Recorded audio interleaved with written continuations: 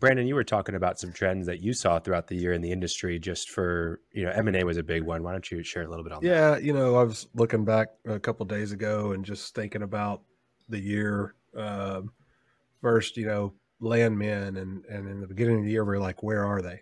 You know, they they really made a resurgence on coming back into the industry.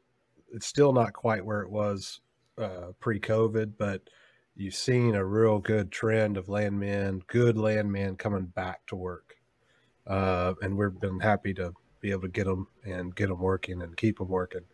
Um, on the MMA M and A side, I mean, you've seen a trend of very, you know, I wouldn't say very light activity, but light activity in the beginning of the year, and it's really I mean, through June, June was kind of the the big month. Uh, I believe there were, oh, I think it was something like sixteen billion dollars or something just in June, and and, and U.S. M&A act- activity.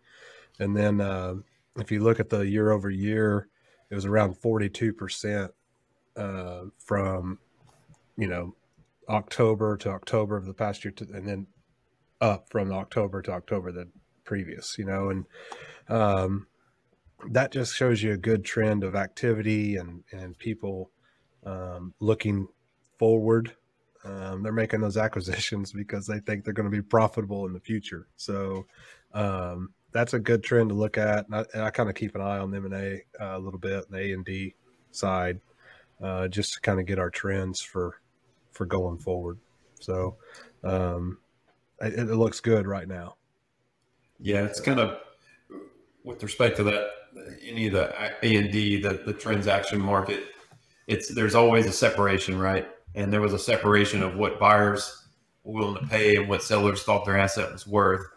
We kind of hit a little happy spot there mid-year where deals started happening, um, and uh, and so that was good. And, and we're kind of, gosh, it was the last 18 months have been really heavy for us on the on the diligence side of things, and we're still seeing some of that go through the end of the year. What will it do next year? I don't know. Um, you know, people's hedges start rolling off. The economics change for a lot of people, uh, particularly in the gas space next year.